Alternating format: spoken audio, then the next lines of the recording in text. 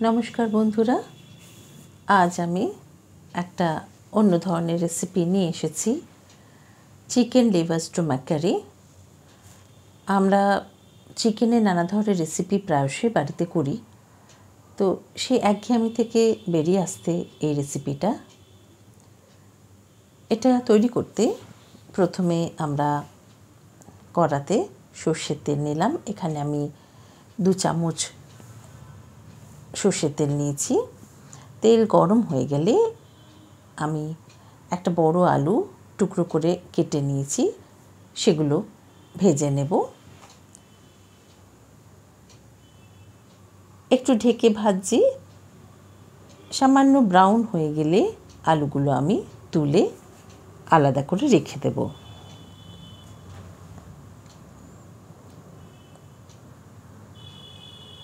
আলুগুলো হালকা ভাজা হয়ে গেছে, আমি তুলে নিলাম। ওই তেলে এবার আমি একটা বড় সাইজের পেঁয়াজ কুচো করে দিয়ে দিলাম।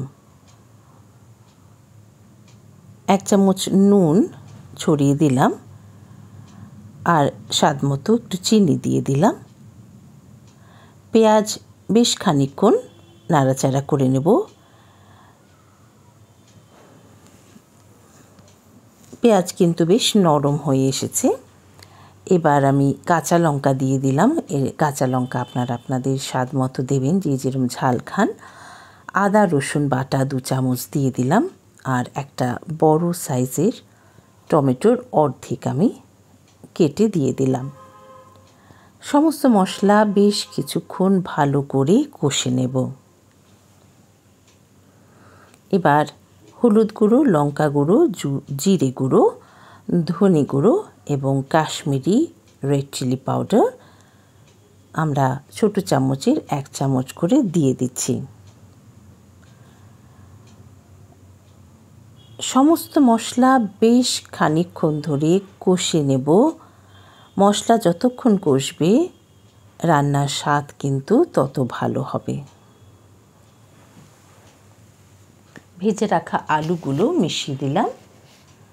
অন্যদিকে আমি চিকেন লিভার এবং স্টোম্যাক নুন দিয়ে সিদ্ধ করে রেখেছিলাম, সেটাও আমি এবার মিশিয়ে দিলাম।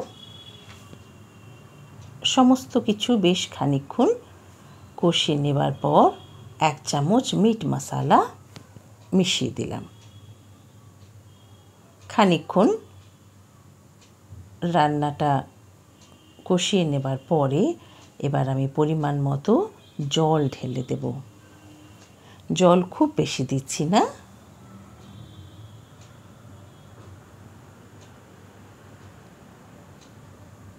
কিছুক্ষণের জন্য আমি এটা ঢেকে দেব। রান্নাটা আলুগুলো সিদ্ধ যাতে হয়ে যায়।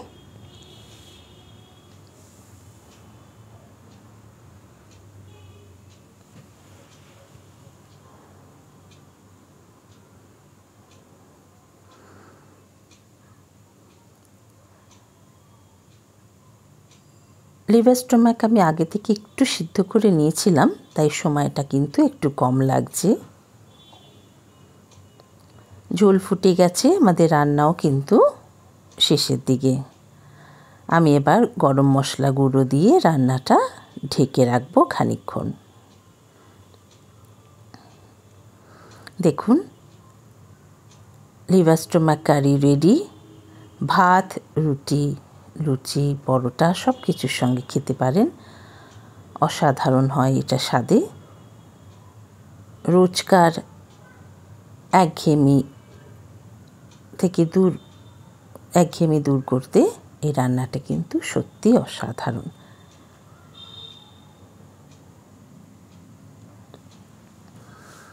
গরম গরম পরিবেশনের জন্য তৈরি লিভাস্টোম্যাক কারি।